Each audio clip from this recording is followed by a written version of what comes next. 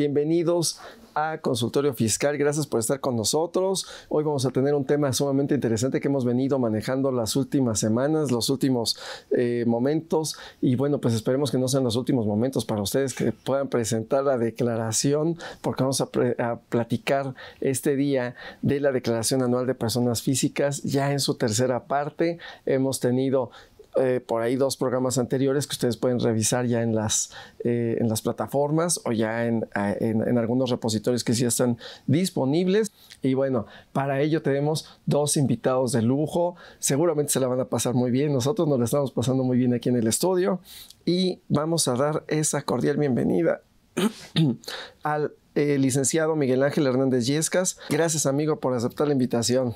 No, es un honor. Gracias, nuestro maestro Levi. Gracias, amigos que nos están acompañando. Y bueno, pues vamos a platicar de esta declaración anual que estamos próximos a presentar. Muchas gracias. Muchas gracias. Y bueno, pues de igual manera, al licenciado en Contaduría, licenciado en Derecho, querido amigo eh, Javier Raúl Ríos Blanquet. Gracias por aceptar la invitación, amigo. No, muchas gracias, amigo, por la invitación. Caray, un gusto, un placer. Y bueno, pues queridos amigos, esperemos que lo disfruten muchísimo y vamos a platicar entonces de la declaración anual en la tercera parte. Y bueno, pues la eh, sesión anterior habíamos platicado finalmente o estábamos comentando algunos de los estímulos fiscales, algunas de las deducciones y eh, nos faltaba redondear esa parte de los capítulos, algunos detalles, devoluciones, algunos tips, algunas características particulares para que las tengan presentes. Así que, queridos amigos, bueno, pues, eh, ¿qué, nos pueden decir sobre las, eh, algún detalle de las deducciones que valga la pena precisar para que nuestros amigos estén preparados? Bueno, hoy en tema, si me permite, maestros. Maestro, por favor, por favor. En el tema de las deducciones es importante, amigos que nos están acompañando, si están como consultores, asesores de algunos contribuyentes, lo primero que hay que ubicar es que tenemos que confirmar la actividad principal del, del contribuyente. Y lo único que lo vamos a hacer es a través de la constancia de situación fiscal. Porque luego nos llegan a mencionar cuando nos, están, nos dicen, ayúdame a presentar mi declaración, te dicen, es que yo hago actividades empresariales pero no sabes si están en reciclo, están en plataformas tecnológicas, son régimen general, o nos dicen, es que vendo computadoras, pero están dados y registrados en el SAT como este, prestadores de servicios profesionales. O cuando hubo hace un tiempo un, conflicto con las bases de datos, a muchos nos mandaron, porque me tocó en lo personal, a venta de maquinitas tragamonedas. Entonces, lo primero, primero que hay que usar en todas las deducciones es su actividad, porque el primer requisito de una deducción es que sea estrictamente indispensable para la realización de su actividad. ¿Cómo ven, mi estimado doctor? Eh, muchas gracias, este maestro. Es importante, como, como dices, es determinar la, actividad económica, porque hay personas que están, por ejemplo, en el título cuarto, personas físicas, eh, capítulo segundo, que es este, actividad empresarial y profesional, en el cual hasta para la determinación de la PTU es necesario separar la parte de, los ingresos, sacar una proporción de, los ingresos de, por actividad empresarial y por profesional, ya que los segundos estarían limitados a sacar esa proporción porque en términos del 127 de la ley laboral, estos nada más están topados hasta un mes de salario. Sí, eso, es muy importante. Y, es importante eh, tener un mantenimiento preventivo hoy en la declaración. Yo creo que la planeación de la, de la, de la declaración debe ser preventivo, no sé qué opines.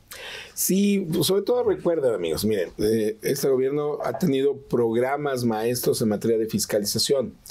¿Qué nos podría llevar? Una doble actuación. Puedo ser reactivo, ¿En qué aspecto? Cuando ya me llega una carta de invitación, cuando me invitan a una revisión profunda.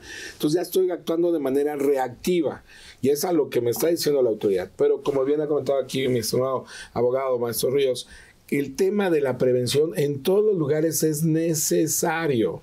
¿Por qué? Porque si yo prevengo con todas mis deducciones, todos mis ingresos, mis pagos provisionales presentados en tiempo y forma, entonces cuando llego ahorita a presentar mi declaración anual, tengo únicamente a un orden y a verificar mi información. A que si estoy actuando de manera reactiva, pues a lo mejor ni siquiera revisé que mis comprobantes fiscales de mis gastos cumplieran con todos los requisitos fiscales. Y si ahorita me percato que alguno estuvo, que le pusieron mal el uso del CFDI, que no le pusieron correctamente un dato del concepto, entonces ya poder cambiarlo a estas alturas del partido es poco más que imposible. Entonces estarías perdiendo una deducción la cual te llevaría a un impacto de un aumento en tu recausación del impuesto sobre la renta. Entonces, prevención, prevención ante todo para no ser reactivos. Sabemos que de manera cotidiana, de manera eh, como llamarle, eh, tradicional, a veces se nos clasifica a los latinos como reactivos, pero no, realmente podemos ser muy preventivos hoy en día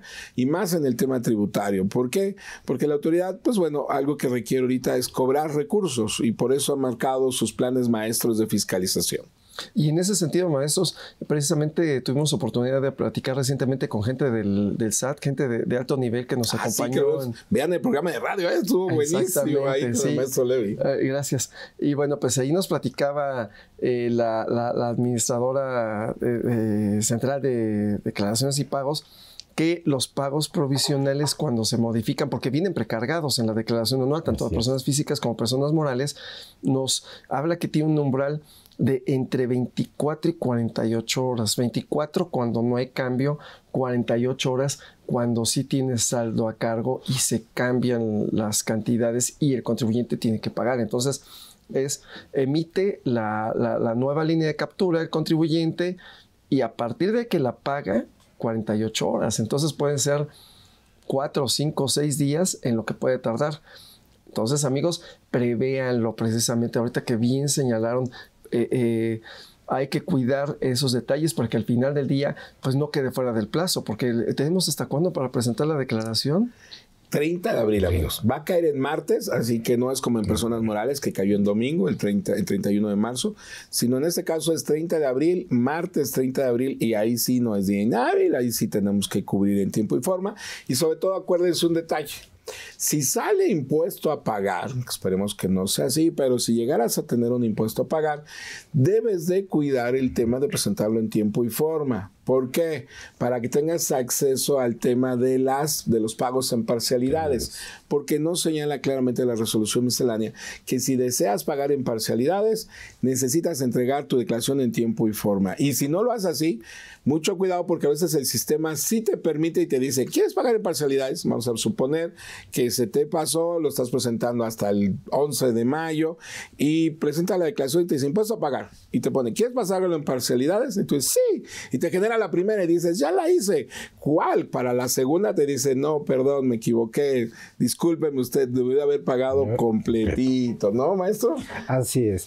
y, y más con el nuevo sistema de fiscalización que se tiene, si Cristo dijo amados los unos a los otros, hoy el SAT establece auditados los unos a los otros y la, información casi ya viene precargada en muchos, en, casi en todos los rubros. Aquí es donde también tenemos que recordar, y qué bien que mencionas yo, por el artículo sexto del Código Fiscal, la autodeterminación de la contribución. Creo que va a ser una letra muerta que se va a quedar, porque ya nosotros ya no estamos determinando los impuestos, ya con toda información precargada en las declaraciones, pues ya no te dan mucho parámetro para que tú te lo autodetermines. ¿No, maestro? Aquí en ese sentido, creo que habría que ver el antecedente que sería la generación de la declaración del pago provisional. Y en el pago provisional sí hay mucha información que yo voy a ir determinando, que le voy a ir informando a, la autoridad. Le voy a decir, a ver, aquí están mis ingresos, aquí están eh, eh, mis eh, retenciones en su caso, aquí están mis pagos provisionales anteriores también en su caso. y ya lo demás lo que va a ir haciendo el sistema sería algo, algo, en, algo natural, ¿no? En estricta teoría. Sí, si lo vemos en el esquema, sería, hago un pedir ingresos, pero eres persona física. Como punta de lanza. Punto importante, método de pago PUE. Si no te han pagado, ni le pongas PUE, que te prometen como el osito bimbo y te dicen, sí, yo te voy a pagar. Nada, o sea, si no te ha pagado PPD. Porque si tú le pones PUE, se percarga en el pago provisional. Y el pago provisional dice, ah, pues tú lo hiciste, tú me dijiste que habías cobrado, pues yo te lo cobro.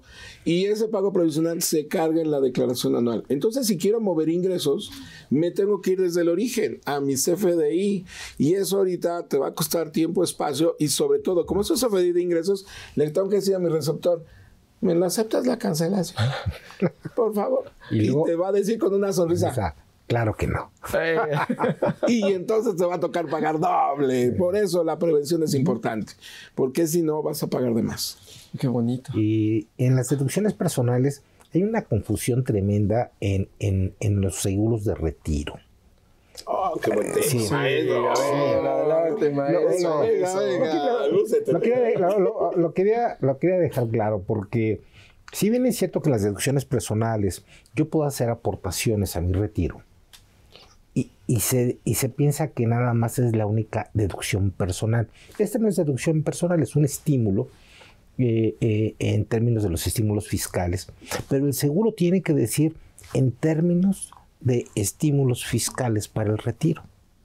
¿Sí? Punto fino importante. Es, importantísimo porque, porque si no la autoridad va a decir, pues es un, es un seguro este, de retiro normalito, este, de esos capitalizables, pero no es para tu retiro. ¿Sí? Es para otro fin. Y, y, el problema es que el que te lo vendió te dijo, si es deducible, es este... ¿Tú confiaste y creíste? Tú, tú, tú, tú, puedes erosionar la base grabable en términos legales y el problema es que no lo puedes hacer. Y el problema es que ya te embarcaste un año o dos años en lo que lo cancelas y este y pues ya perdí. Tuviste una cobertura, sí, pero no lo, no, no, lo, no lo puedes deducir para los fines que tú lo compraste. Y queda el compromiso con el fisco, porque el pago lo voy a tener que hacer. Entonces tengo la erogación o compromiso con la aseguradora, tengo el compromiso con el fisco. Así y entonces, bueno, pues va a ser un desastre. Y nuestros amigos lo verifican precisamente a través del CFDI, pero no solamente con la mera emisión, sino que debe de contar con la adenda.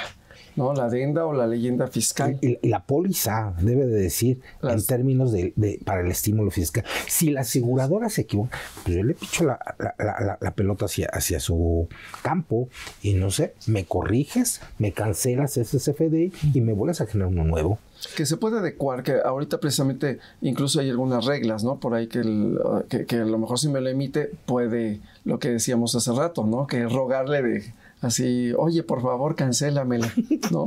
sí, y es que, amigos, habrán escuchado que hemos mencionado más de cuatro veces el tema en las letras CFDI, el comprobante fiscal digital por Internet. La autoridad es su arma letal, por llamarlo de manera figurativa. ¿Por qué? Porque nosotros emitimos CFDIs cuando generamos ingresos. Entonces, la autoridad tiene contemplado cuándo cobraste, a quién le cobraste, cuánto cobraste, si hubo otro impuesto como IVA o IEPS y si cobraste, pues le vas a poner método de pago PUE. Entonces ya con, ubica bien tus ingresos. Y con materia de gastos, como ahorita lo estamos mencionando, si las, si las facturas no están bien hechas, entonces tú pierdes una deducción, puedes perder un estímulo o no lo, vas a hacer, no lo vas a recibir de manera completa. Entonces, hoy más que nunca, el tema de los FDIs tiene que ser muy bien claro para todos y cada uno de nosotros, como la parte de ingresos, como la parte de deducciones. Porque si tú vas con un médico y pues hoy con las enfermedades respiratorias y todas las temperaturas y cambio climático que estamos viviendo, llegas con un doctor y dices, no te pasado, mi, mi segundo maestro le vi que, oiga doctor, le voy a pagar con tarjeta. No, yo nada más acepto efectivo. Oiga, necesito mi recibo, doctor. No, pues es que aquí somos ecologistas y no emitimos papeles, no gastamos eh, papel. Entonces, o, lo más chistoso, ¿no? Perdón, que te dicen, es que si te voy a grabar el IVA, doctor, no sea mentiroso, usted no graba IVA. Sí, no, exactamente. Dicen, le voy a cobrar el IVA y, aparte del impuesto, dije, espérame tantito, o sea, eso es su impuesto, o sea, no me lo tienes que cargar a mí. Pero hay veces que con, con tal de que nos cure, dices, bueno, vamos a ver, ¿no? Pero sí hay una irregularidad que eso se transforma en una discrepancia fiscal fiscal. Aguas, amigos, ahorita que vamos a presentar declaración anual, porque tiene que haber una relación, una proporción entre tus erogaciones y los ingresos que estás declarando. Y cuando presentas la anual, pues le estás diciendo con tu firma, con tu contraseña, que esos son tus ingresos y esos son tus gastos. Y si por ahí mentiste un poquito y te puede generar esta discrepancia fiscal, vienen sanciones más agresivas. Wow, entonces me pueden sancionar si no presento. Ah, bueno, eh, es una cuestión muy grave no presentar la declaración anual. También ese es todo un tema que podemos caer ahí hasta el punto de defraudación, ¿no? O sea, podemos, eh, podemos ser ya tipificados. Maestro abogado. La, fiscalía, exactamente. Tema de penal. Bueno, es penal. Exacto, ya es penal. es penal. Bueno, entendamos que hoy la autoridad puede llevar los, los dos este, procedimientos, el penal y el administrativo, por puerta separada. Y ya la Corte ya se pronunció y muchos dirán, es que nadie puede ser juzgado dos veces por el mismo delito. No, la Corte ya se pronunció y estableció que no se rompe el, el principio no bis in idem, que quiere decir nadie puede ser juzgado dos veces por el mismo delito. Ya estableció que son delitos de naturaleza distinta. Y entonces puedo pagar penalmente, sí, en términos del 108, 109 del Código Fiscal, y además administrativamente con sanción.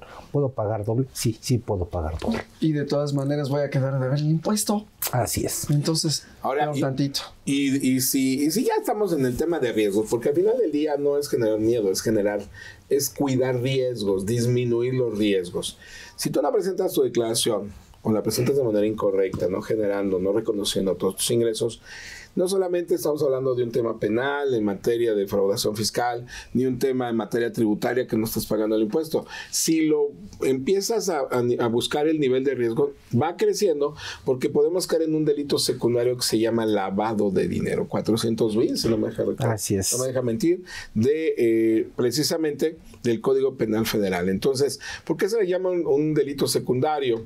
Sin ser abogado, sí, maestro es mi, sensei en esta área. Pero, ¿por qué delito secundario? Porque primero cometo el delito de la defraudación, que no pague el impuesto y ese dinero lo genero y me lo gasto en el cine, en el cotorreo con los amigos, en, un coche.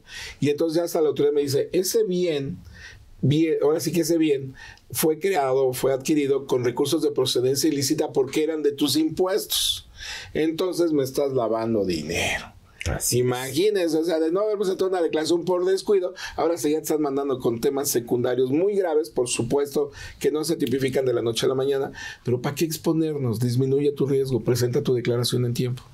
Así es, entonces, bueno, pues e, e imagínense uno comprando felizmente aguas locas y, resulta que fueron de procedencia ilícita, por un error. Ya son recursos de procedencia ilícita. Así es, sí, y que se genere este delito eh, secundario o predicado, ¿no? Eh, lo, conocemos en el medio.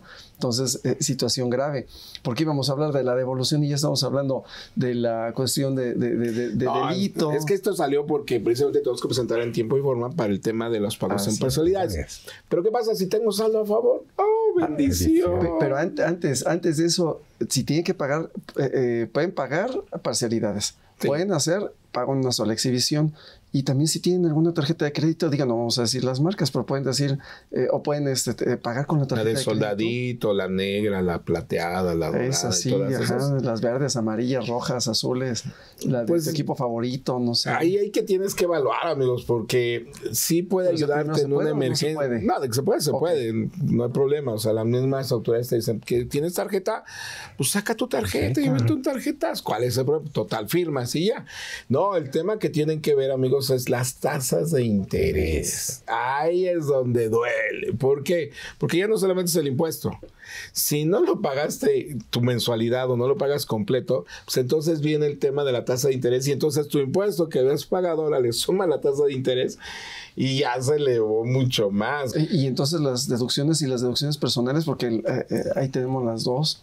Entonces, ¿cómo, le hacen para, eh, para acreditar y ah, no, es que pueden ser? yo no tengo deducciones personales. Ah, qué, bueno que eres sano. No voy al médico, sí, soy sano. No usas lentes.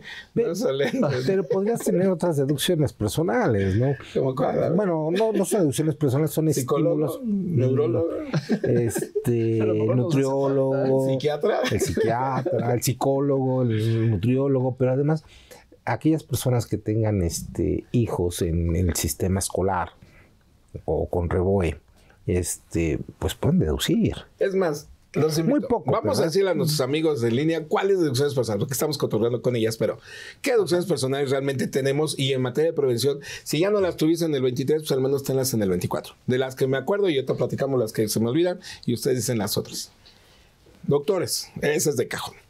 Nutriólogos, licenciados, psicólogos, por supuesto. Pero el tema de los chavales, el tema de los chicos, de los críos es desde preescolar, primaria, secundaria, preparatoria y técnica. Que los montos no se han actualizado desde que nacieron, bueno, pero ahí están. ¿Qué otro maestro? Eh, los lentes. ¿Lentes? Los lentes hasta 2500. Lo importante es que no se, eh, eh, que esté desglosado, es decir, el armazón y el, el lente. Y va para padres, hijos, esposa, esposo, cónyuge. No le estoy dando la bendición para que no se les olvide. Padres, hijos, esposa, esposo, cónyuge. Tienen derecho en materia de lentes. Ayuda al transporte escolar. pero ahí tiene que ser exclusivamente. Esa es una característica bien fea que nadie vaya a dejar a su hijo a la escuela. Tiene que irse al sistema de transporte por ellos y llevárselo. Y, yo no he visto un colegio que tenga ese programa como tal, ¿eh? Fíjate que yo pensaba lo mismo, pero, pero sí hay algunos, ¿eh? Uno de unos como plantitas llamadas cedros, así sí hay unos que sí te dan esa, te dan esa opción y no tienes opción de, otro. Pero bueno, ¿algún otro maestro? Bueno, pues eh, también ah, gastos, gastos funerarios. Pero ahí te tienes que morir. Pero no tienes que devengar. Sí, te tienes que devengar, pero tienes un derecho, ¿no? Tenemos Lo pagas ahorita y lo... no te lo acepta, tiene que, tiene que haber el hecho. o sea, lo pagas ahorita y cuando se aplique, entonces eh, tus deudos... O sea, tiene que haber un devengamiento contable.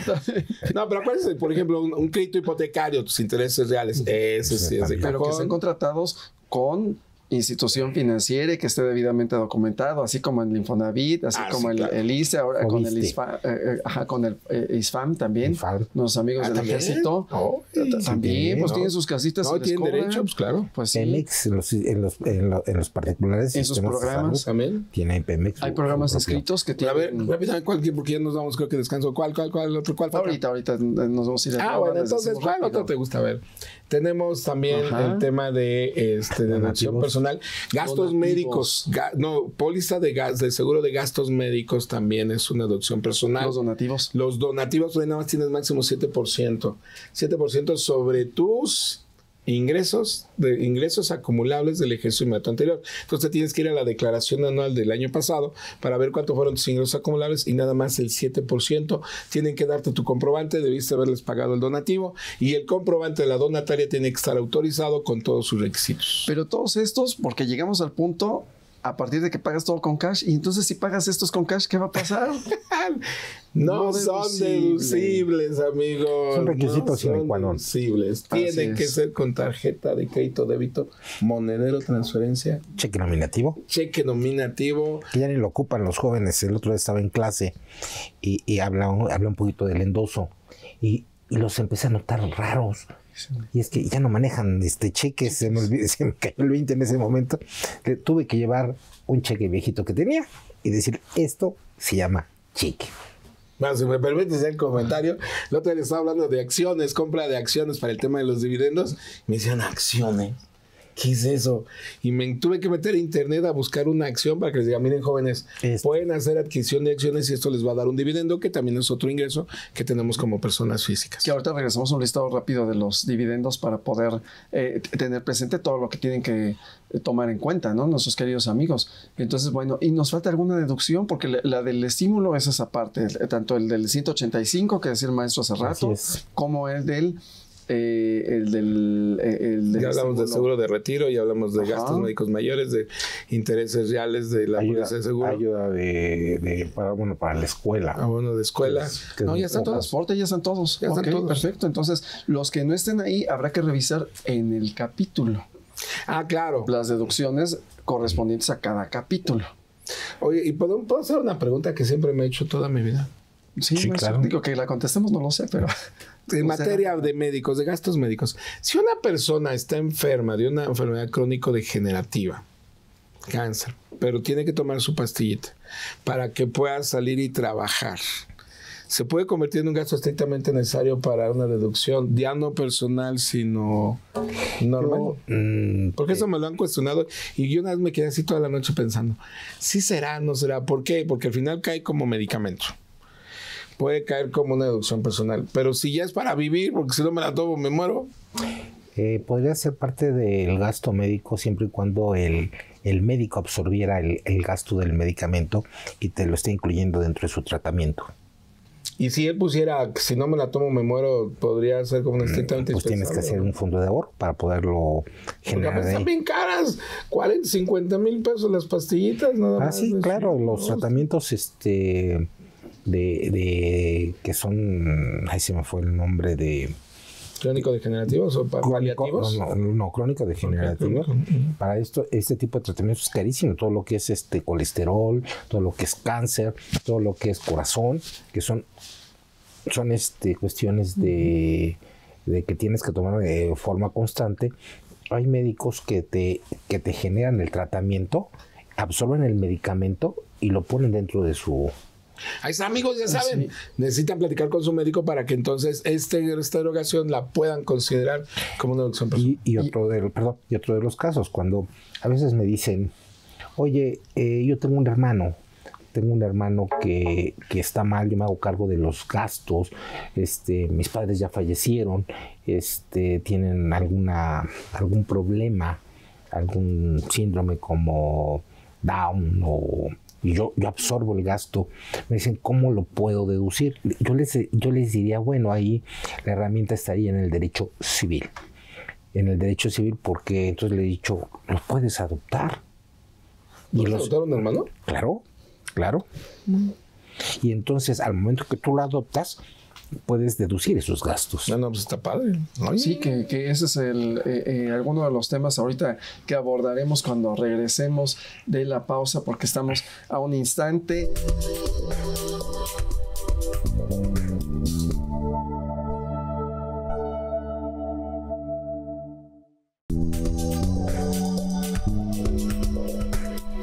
Estimado auditorio, estamos de vuelta. Gracias por estar con nosotros el día de hoy y estamos platicando de la declaración anual de las personas físicas. Ya estamos en la tercera parte, ya estamos en los detalles afinando todo. Ya aquí los maestros nos han hablado de algunos de los temas y todos los eh, eh, anteriores también nos platicaron de los detalles de quiénes son los objetos, por qué se da la situación. Pero ahorita ya en esos detalles finos que debemos de tener especial cuidado en la presentación, que ya vimos la fecha, que tenemos el 30 de abril, que tenemos eh, deducciones personales en casi, bueno, eh, que, que, ahorita vamos a puntualizar precisamente en la perspectiva de los capítulos, eh, también que tenemos, podemos tener saldo a cargo, saldo a favor, que ahorita también vamos a redondear, estamos esperando sus llamadas y también aquí tenemos algunas que nos hicieron favor de, de, de hacer llegar del el Instituto de Investigaciones Estéticas, el doctor Julio, muchas gracias, eh, felicita el programa y bueno, pues dice que es, ah, muchísimas gracias, que es un gran cambio y un, un gran programa, esperemos que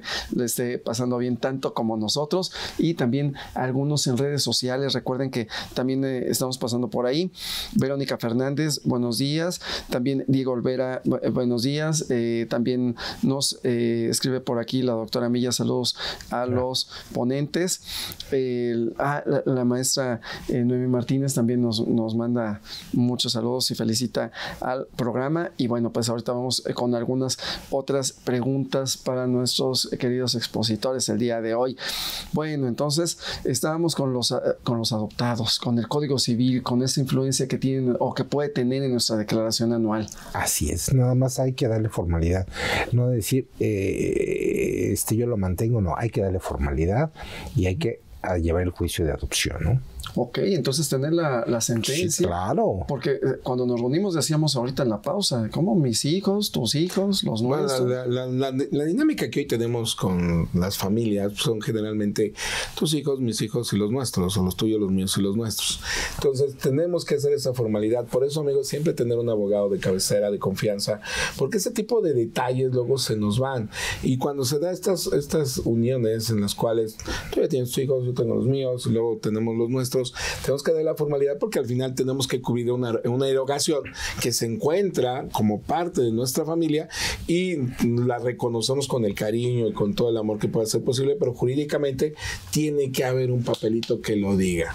Entonces es necesario y si van a presentar declaración anual, que cuenten con esa sentencia de adopción. Así es, así es. Ok, entonces cumpliendo eso, por aquí también ah, saludos de Enrique Morales Sandoval. Bueno, pues aquí dice que ah, felicita a los expositores, de igual manera Justino Santiago, muchísimas gracias. Y por aquí em, dice, ah, aquí muchísimas gracias. Y algo comentamos en, el caso del 185 de la adenda, nos dice aquí, eh, eh, y gracias por la aportación, dice Castillo Misa, dice el artículo 303 del reglamento de la ley del peso de la renta que el CFDI debe contener la leyenda.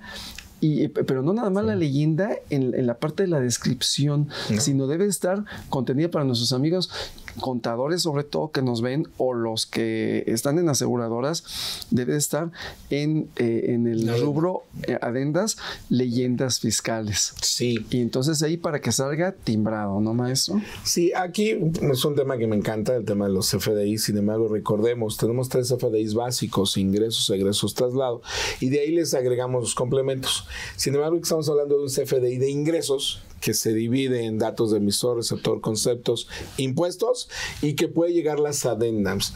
Pero en el tema de las adendams también tenemos que ver si lleva una leyenda, una leyenda fiscal y ahí es donde la profundidad del conocimiento de un CFDI para que no vayamos a tener una, una situación contraria y en vez de tener una deducción tengamos un dolor de cabeza. o, que lo estemos deduciendo y que no tengamos ese derecho. Eh, todavía recordemos que nuestro público, el público, tu público, perdón, este, eh, muchos van a hacer declaraciones, van a trabajar a hacer declaraciones. Eh, conozco algunos abogados que hacen también declaraciones y podríamos caer en el artículo 89 del Código Fiscal de la Federación. Es solidario responsable aquel que aconseje para omitir total o parcialmente una contribución en perjuicio del fisco federal.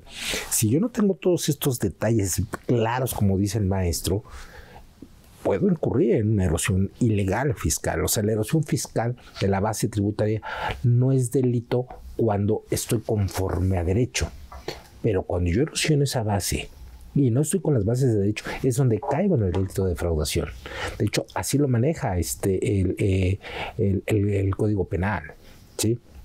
Hay delito de defraudación para que brinque el, artículo 108 o el 109 cuando se erosiona no teniendo el derecho la base grabable. O sea, la erosión fiscal no es delito, ¿eh? Claro. Pero siempre y cuando se haga conforme a derechos. Y fíjate que me acaban de acordar de un tema, si me permiten, nuestros amigos Recico. Nuestros amigos Recico que se les pasó a presentar su declaración anual 2022. Bueno, no se les pasó, los cambiaron porque no habían presentado una declaración. los provisionales, fue ah, por provisionales. Pero también fue por anual porque... Ah, bueno, sí, también se les pasó. Acuérdense que el Recico, para contexto, ¿no? Siempre los jóvenes dicen, el contexto, profesor Sale. Contexto, nace en 2022, personas físicas, personas morales, tienen una ventaja, tienen hasta 3 millones y medio de pesos de ingresos y pueden realizar actividades empresariales, servicios profesionales independientes o, uso o goce temporal de bienes.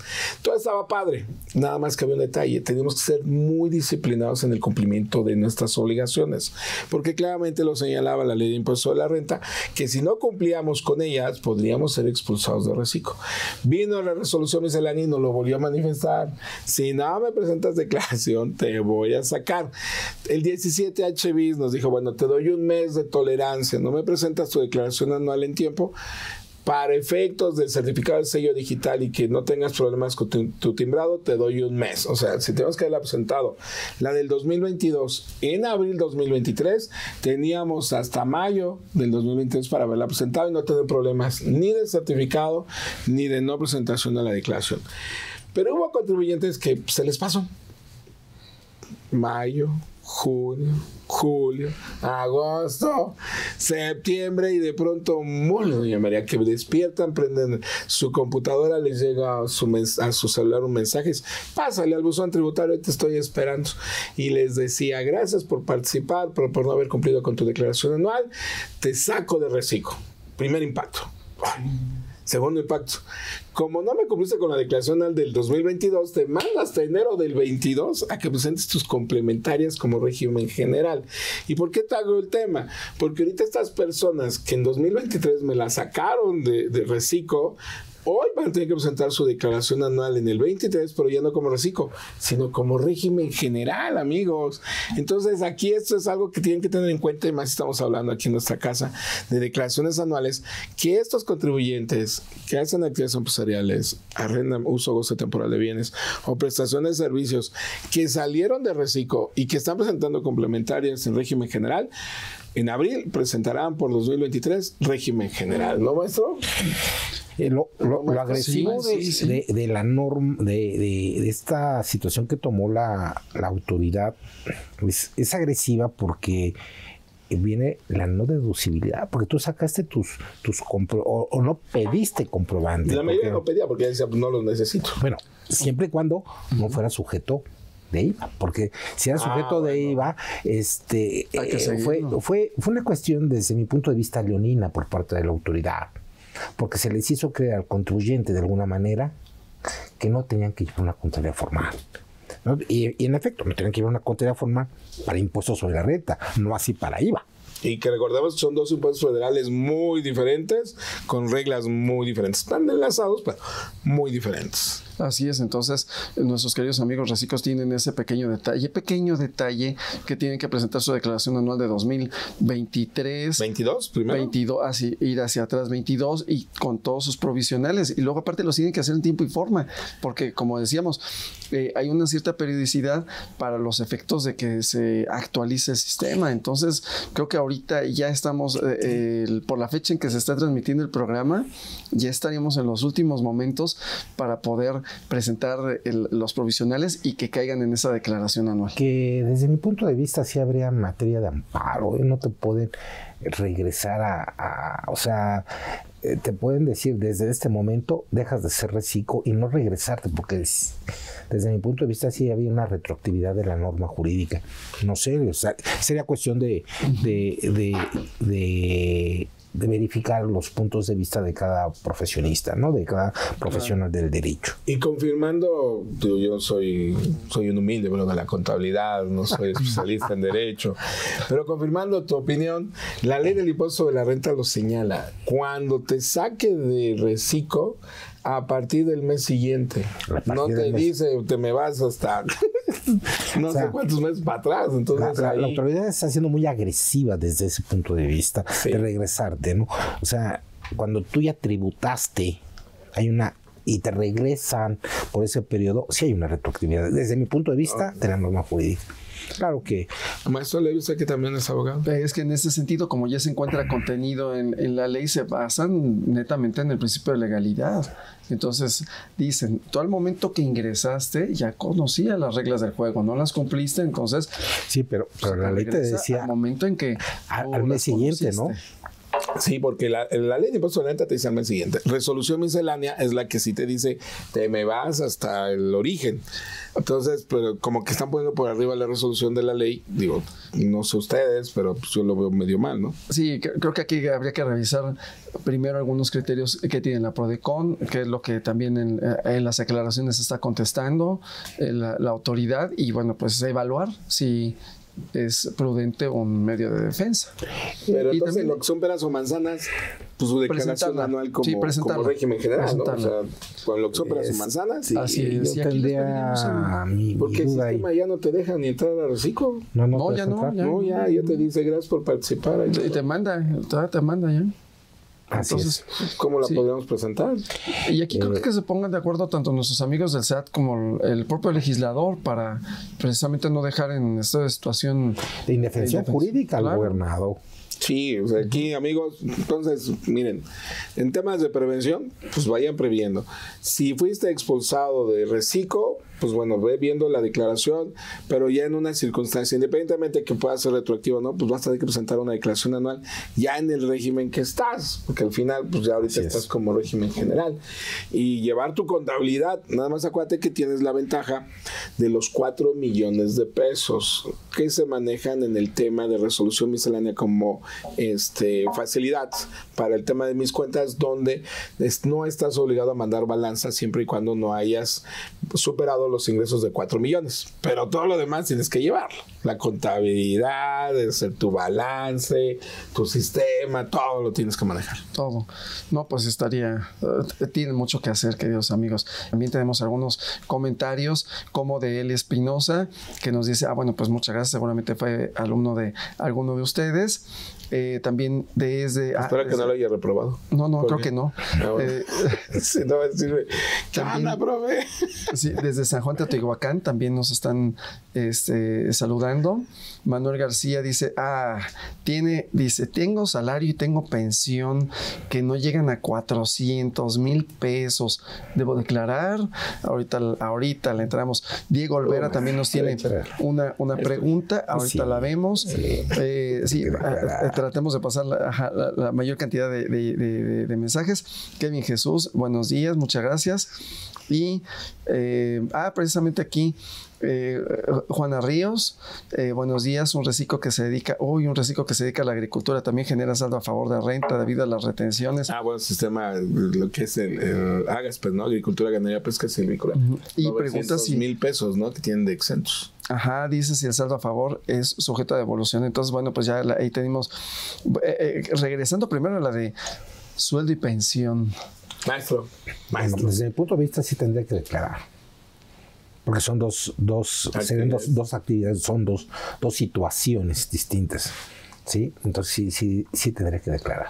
Okay. Porque quiero entender que hay un, hay un régimen que ha de estar en un seguro social, a lo mejor, que a lo mejor y está por, por, por, otro trabajado, otro trabajo donde esté en el ISTE, son dos patrones distintos. Entonces, al tener dos patrones distintos o dos situaciones distintas, tendrían que declarar.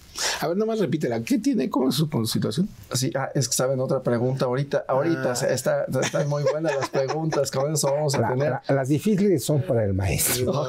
la otra pregunta está difícil. A ver, Dice esta: Un reciclo que se dedica a la agricultura genera saldo a favor de renta debido a, las retenciones que le efectúan. ¿Ese saldo a favor es sujeto de devolución? es un derecho, siempre es un derecho a tener un saldo a favor. Sin embargo, también tenemos que ver el tema ahí con nuestros amigos de Agas para Agricultura, Ganadería, Pesca, Silvícola. Porque ellos, ellos les tocó un poquito jugarle con la más fea, porque tenían un esquema más amigable y me los mandaron de pronto a Recico, ¿no? Y de pronto les dijeron, oye, nada más vas a tener un tope de hasta 900 mil pesos en tu exención del impuesto sobre la renta. Sin embargo, no, ya no nos especifica si superó los 900 mil pesos o no lo superó, pero nos señala claramente si tengo un saldo a favor, si tienes un saldo a favor, tienes derecho a pedirlo, es un derecho, no es un favor, es un derecho y lo tendrías que ejercer. Y que hablando particularmente en ese sentido de las retenciones, en este que fue de reciclo, en el caso de también de, por ejemplo, sueldos y salarios, o de incluso de arrendamiento cuando lo realizo con personas morales y que me retienen, en este caso a lo mejor puedo tener un saldo a favor y que tuviera esa posibilidad de solicitar la devolución correspondiente. Entonces. Híjole, saldo, a ver, a ver otra pregunta, Claro. Sí, sí, sí, claro. ¿Me puedo unir a las preguntas? Sí, sí. ¿Qué pasa con los trabajadores con salario mínimo? Que no se les retuvo y que quiere presentar su declaración. Bueno, eh, tendrían, eh, tendríamos que evaluar por qué la van a presentar. No eh, rebasarían los 400, pero pues no está obligado, va por opción. Así es.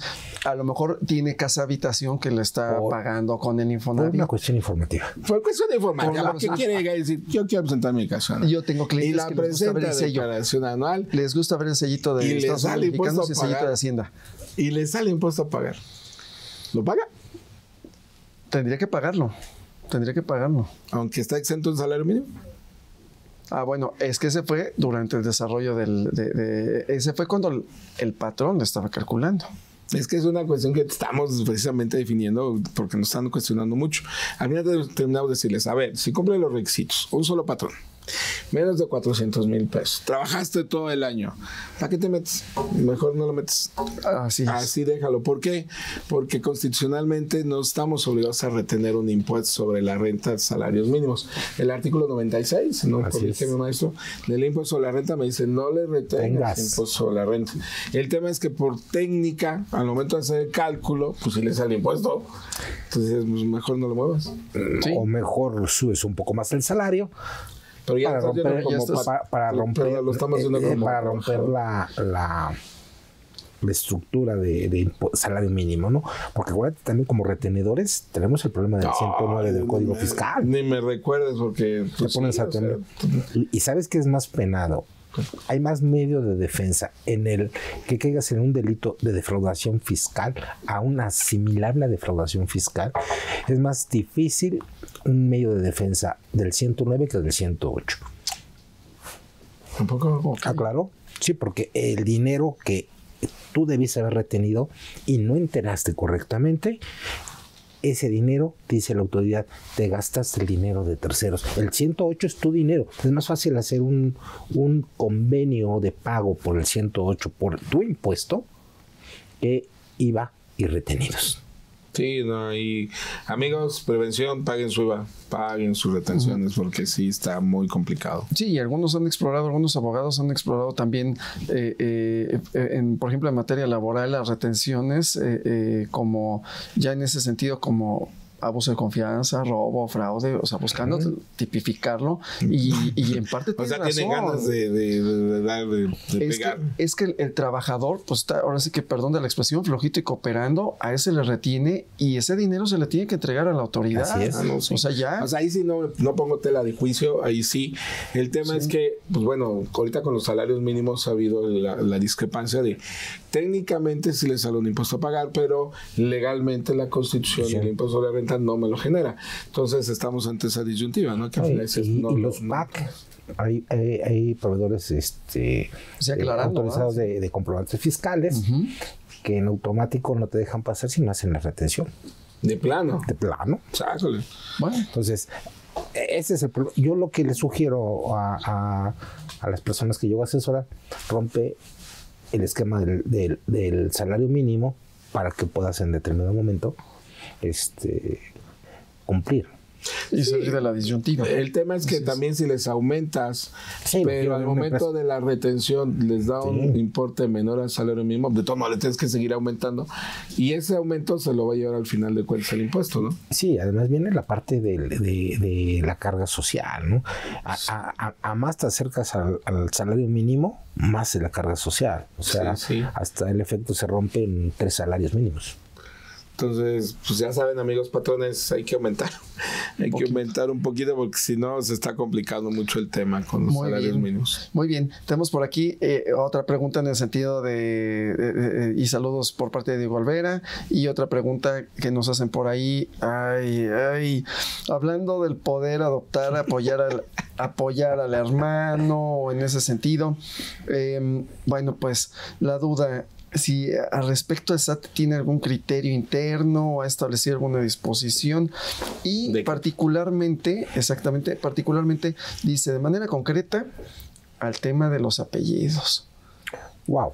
que ese es, ese es todo un tema. ¿no? Pero ¿por qué? A ver, deme contexto, no lo entiendo. Sí, eh, cuando estábamos hablando en el caso del hermano que adoptó o de los hijos de, de los míos, los tuyos y los nuestros, bueno, cuando eh, emito o solicito la emisión del CFDI de esos gastos, bueno, pues va a ser un apellido. En este caso se van a se van a aparecer, pero el RFC o la eh, el clave única de registro poblacional, en su caso, no va a ser. Entonces, Ah, eh. Aquí hay un problema que lo voy a, a pichar a la cancha o lo voy a pasar a la cancha de, de la autoridad. En derecho administrativo recordemos que la autoridad únicamente puede hacer lo que le faculta la ley y el gobernado puede hacer todo lo que no le está prohibido. Me está eh, eh, en mis clases de, de- de la especialidad allá en la Facultad de Derecho, se vale decir nombre, sí, mi, mi querido maestro Augusto Fernández Agardi. Yo le preguntaba cómo se hace una planeación fiscal y estableció un punto. vamos a, poner tres supuestos de la planeación fiscal. O, porque oímos de planeación fiscal y, la autoridad nos saca el crucifijo. ¿sí? De hecho, aguas porque ya hubo este el primer... Son palabras que no puedes usar en las redes. Eh, sí. bueno, no, es que planeación fiscal no es pagar ni un peso más ni un peso menos conforme a derecho. Puedo tener planeación fiscal teniendo una cuestión agresiva en, en el cumplimiento de mis obligaciones fiscales, en pagar en tiempo, en forma. Ilusión fiscal, como que como que eh, eh, eh, le eludo el impacto fiscal y defraudación fiscal no hago nada. Ok. Entonces, lo que él me decía, para que el acto sea lícito, voy a tener tres canastos. Un canasto, el acto es lícito en derecho civil, sí. El acto es lícito en materia penal, digo, en materia mercantil, sí. Luego, entonces, si no está contemplado por parte de la autoridad, es materia de planeación, de la autoridad fiscal. Entonces, ese es el problema de la autoridad fiscal, porque acto está haciendo un acto lícito al momento de la adopción. ¿La adopción está prohibida? No, no. Eh, en este caso, y haciendo el comentario rapidísimo, si fuéramos sujetos sobre todo a una devolución, me lo pueden observar, me lo pueden rechazar, la autoridad de su derecho, y eh, bueno, eh, con la presentación manual donde viene la sentencia, al análisis de la autoridad, en, mi punto de vista, tendría que decir la autoridad, ok, estás cumpliendo porque yo no tengo, por ejemplo, en el, en el CFDI los espacios para ese tipo de cuestiones y cumpliste con otros requisitos externos que le dan formalidad, le dan legalidad a esta situación. Entonces, bueno, queridos amigos, nos quedan unos 30 segundos. Ya, no. 20 eh, segundos. Recomendación, una recomendación. Tener, antes de que llegue abril, tener este, clara la, en tiempo la firma electrónica. Ok. Es requisito sine qua non. Estamos en tiempo. Perfecto, amigo. Que no dejen de ver los programas. Que estén aquí porque es capacitación gratuita, que es un esfuerzo súper padre en la universidad y que nos invita a nosotros, porque aquí les damos información valiosa, práctica, rápida y que no dejen de ver. Y todos los papeles de trabajo los tengan al día y no dejen de presentar su declaración en tiempo y forma.